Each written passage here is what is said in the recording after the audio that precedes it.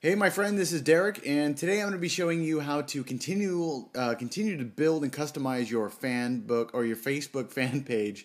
And uh, by now, you should have already set up a fan page and know the reasons why. Plus, also possibly have your vanity name set up. But if you haven't done that already, uh, there should be a link right below this video to go back and learn how to do that. So, with that being said, let's go ahead and move on further. As you can see, we're here on my page and um, I'm going to show you a few custom tricks to be able to put, um, on, you know, to be able to customize your fan page to help it stand out and help it to be a little bit more unique. So as you can see here, I've got a profile picture and it's the first thing I'm going to talk to you about today because it's the biggest um, benefit to having a fan page or one of the biggest things to help set you apart from everybody else. See, everybody just normally has a um, a normal Facebook fan page of 200 by 200 or whatever it is, a little tiny square sometimes of their mug or whatever.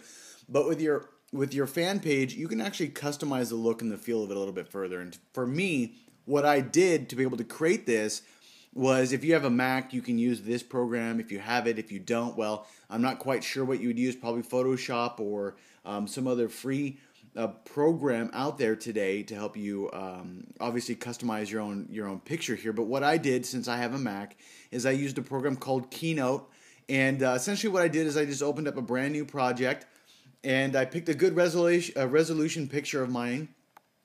Uh, just a regular picture of me, one that I like to use for marketing, just because it's you know just me friendly and it doesn't have any beer bottles or anything like that in there. It's just me.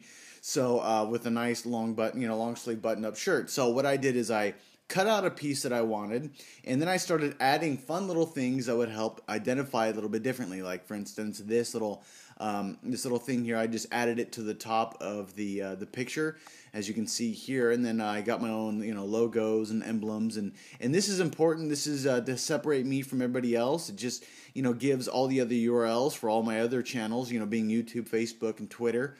Um, and then also I, I, also have this one too. It, this one also I put at the bottom of my picture that helps uh, my viewers to suggest the page to others when they find the information to be valuable that's on the page. So um, you can create your own picture like this, and I strongly suggest it. The size that you want to fit it to is 600 by 200. 600 obviously being the height, and 200 being the width.